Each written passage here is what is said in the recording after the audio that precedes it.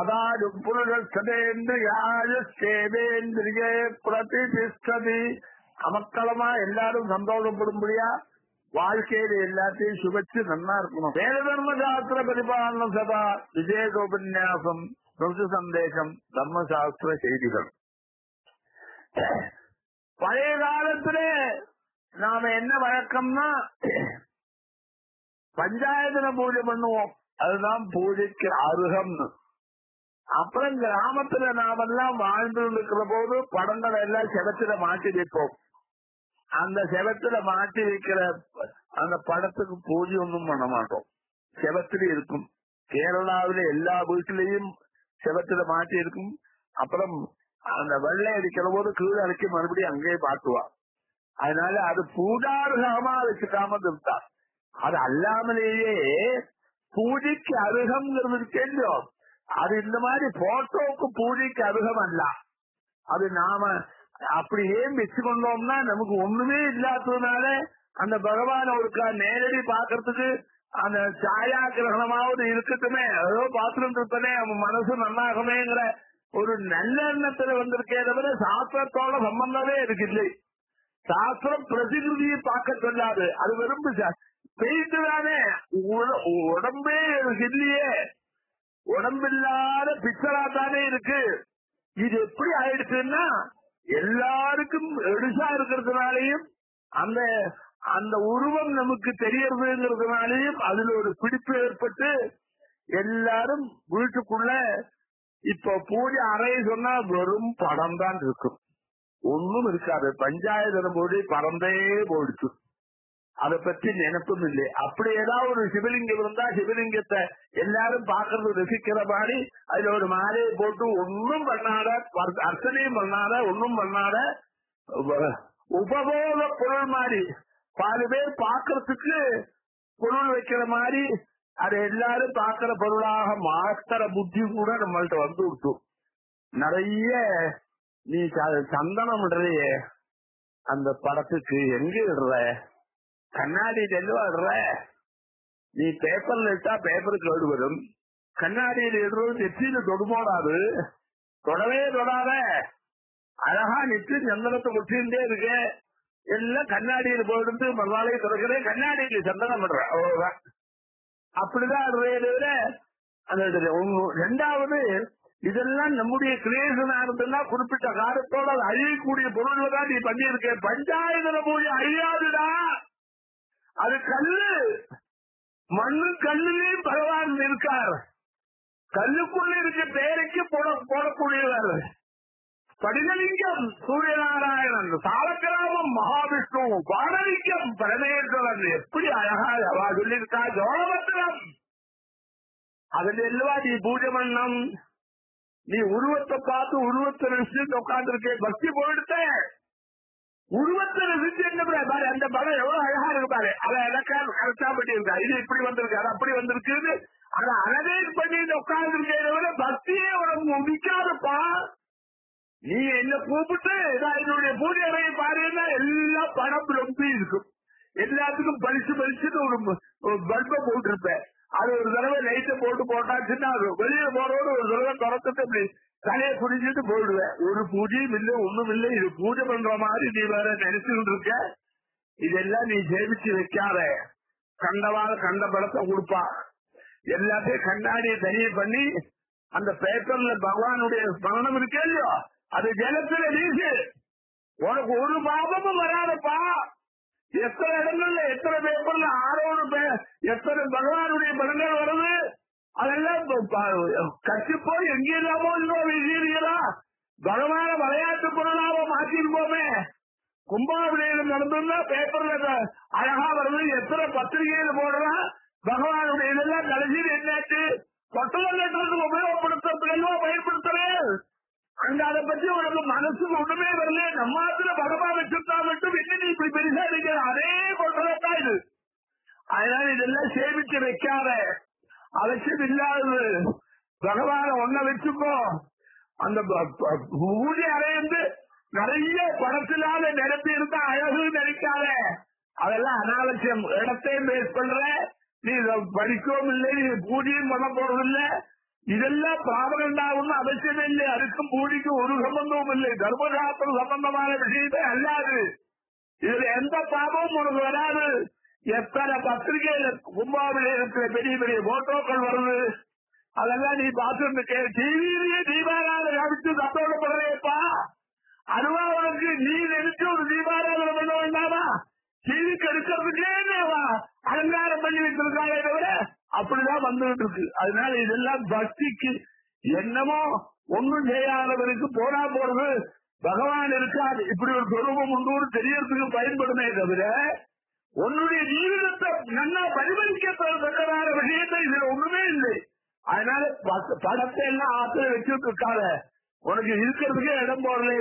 Double bedroom ஒரு பெட்ரூம்ல இருக்கிற படத்தை எல்லாம் வச்சு ஒரு பூஜை ஏற்பாடு பண்ணி அதை எல்லாத்தையும் உள்ள வச்சு ஆளெல்லாம் கொடுக்குற எல்லாம் கொண்ட வச்சு மனசுல சென்டிமெண்டா நினைச்சு வந்து அந்த இதெல்லாம் வச்சிருந்து பண்ணால எல்லாத்தையும் தூக்கி அந்த க- கண்ணாடியை வெளியில் எடுத்து கண்ணாடி கடைக்காரனை கூடுவோம் அந்த இருக்கிற போட்டோ இருக்க. அந்த ஜலத்துல விசர்ஜனம் பண்ணு. ஒன்னே ஒன்ன வச்சுப்போ இப்படி எல்லாம் கதா பின்னா பக்திக்கு புது வழியை காட்டாத. அதெல்லாம் பக்தி ஆகாது. மனசுல நினைச்சுக்கோ. பகவானே நாராயணனே உன்னதான் நான் நினைக்கிறேன். உன்னுடைய நீ என்னெல்லாம் கஷேத்திரத்துக்கு போறியோ அந்த கஷேத்திரத்தில் நீ கண்ணால பார்த்தவாள் மனசுல பதிஞ்சே இருக்கேனா? அது அழியாதே. படத்தில் அறியுமே. அதனால அது போடும் பல உருவங்கள்ல பகவான காட்டுறாங்கிறதுனால அதுல ருசிச்சுட்டு இருக்காரே உருவம் இல்லாத அவன் மனசுல என்னைக்கு இருக்கிறவன். எதே ஒரு உருவம் போடும் உனக்கு. அந்த உருவத்தை நீ வச்சிருந்தா போடும் புதுசு புதுசா உருவத்தை வடிவப்படுத்தி இது ரொம்ப சக்தி இது ரொம்ப சக்தி அப்படின்னு சொல்றதெல்லாம் சொல்லிட்டு நீ பண்ணி இருக்க வேண்டிய அவசியம் இல்லை. அதனால நிறைய சேமிச்சு வைக்கிற நிறைய படங்கள் வருது. பணம் வாங்கி வாங்கி வைக்கிற சந்தோஷமா வைக்கிற அது ஒரு நாளைக்கு அழியக்கூடியது. அதனால அது அழியற சமாச்சாரமா இருக்கிறதுனால அதை நீ வச்சுக்கணும்னு சொல்லாது.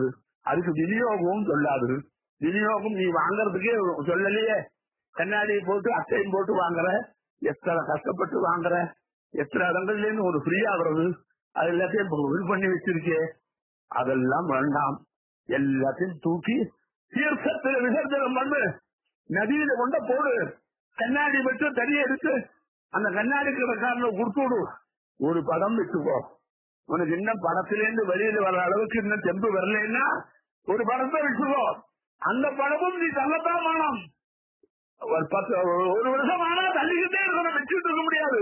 வீடே கட்டு போறதுடா நாலு வருஷம் பேசாது சொல்லிட்டா வீடை மாத்துறோமே. உனக்கு அது தெரியல. இது பழைய வீடா இருக்கு ரிப்பேர் பண்ணும் வெள்ளை அடிக்கணும் எல்லாம் மாடும் எல்லாத்தையும் தூக்கி எறிகிறே அதனால இந்த சென்டிமெண்ட் எல்லாம் வளர்த்தாத இது சாஸ்திரியம் அல்ல. அசத்து தரத்துல விளைந்த விஷயம். அதனால படத்தை போட்டு வச்சுக்காரு போற இடத்துல எல்லாம் ஒரு படத்தை வாங்கி ஒரு வாங்கி ஆத்திர ஓட்ட வச்சு அது பூஜையும் பண்ணாத இருக்கா வந்திருக்குன்னு தெரிஞ்சிடாத அது ஒரு லட்சியமும் இல்லாமல் அப்படி நாம புத்திசாலித்தனம் இருக்கிறவா பண்ணப்படாது. ஒரு படத்தை வச்சுக்கோ ரெண்டு மூணு மாசம் ஆச்சுன்னா அதை வெளியில போடு. இன்னொரு படத்தை வாங்கி வச்சுக்கோ. மூணு மாசம் ஆனா வெளியில போடு. இன்னொரு படத்தை வாங்கி வச்சுக்கோ. ரொம்ப நிரப்பாத வீடு பூரா பலத்தை நிரப்பாத. அதெல்லாம் அவசியம் இல்லை இவாளெல்லாம் வெளியில காக்கிறதுக்கு பார்க்க கூடியதான ஒரு பொருளா வைக்கிறியே காட்சி பங்களாவாரி எல்லாரும் வந்து பார்த்துட்டு போங்க. அப்படின்னு நீ குடும்ப வீடே கோவில் மாதிரி ஆக்ட் பண்ணதுனால பக்தி வருமானாப்பா பக்தியிலும் வேற. படத்துல இல்லை. அதனால அதெல்லாம் அப்படி வச்சிருந்து இருக்காரு அது உனக்கு உபயோகப்படாது. பப்ளிக்கு எங்க ஆத்துல நிறைய படங்கள் இருக்கு. புது புது படம். இது வரைக்கும் இல்லாத படங்கள்லாம் இருக்கு. என்ன உபயோகம்? உன் மனசுல பக்தி வந்ததா? பக்தி வராத மனசுல இருக்கிற பகவான படத்துல இறக்கி வைக்கிறேப்பா. மனசுல இருக்க வேண்டிய பகவான ப- படத்துல இறக்கி வச்சு அப்பாவை மனசுல வச்சுக்கிறதுக்கு பதிலா போட்டோல இறக்கி வச்சு அதுக்கு ஒரு மாலை போடுறேப்பா.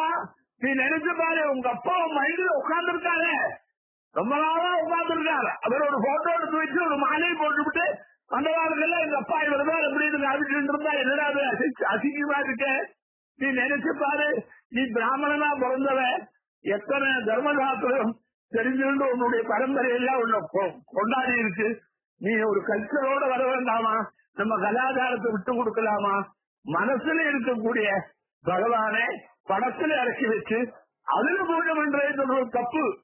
மனசுல இருக்க வேண்டியது. அப்பனார வடத்துல இறக்கி வச்சு போட்டோ இறக்கி வச்சு அது நிச்சயம் பார்த்து இருக்கிறது அதெல்லாம் தப்பு. இதெல்லாம் காய்ச்சல் பொருளா வைக்கப்படாது.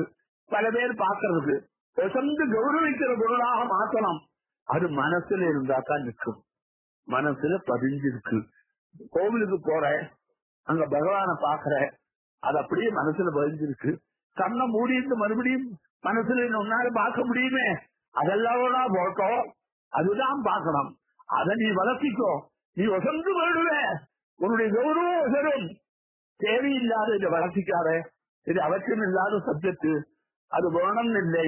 நீ ரொம்ப ஒரு நாலஞ்சு தலைமுறை முன்னாடி கிராமாந்தரத்துல இருக்கவாள்லாம் செவத்துலதான் மாட்டிட்டு இருந்தாடா அப்புறம் ஜபத்திலே இருக்கும் பார்க்கறதுக்கு ஏதோ சௌகரியமா இருந்தான் அதனால பகவானை ஆராதனம் பண்றது மனசுல வச்சு அதுக்கு ஏதோ ஒரு லிங்கம் கொடுத்திருக்கார் ஒரு காலகிராமம் கொடுத்திருக்கார் ஒரு ஸ்படிகம் கொடுத்திருக்கார் ஒரு சோழமங்கலம் கொடுத்திருக்கார் ஒரு பச்சை கொடுத்திருக்கார்.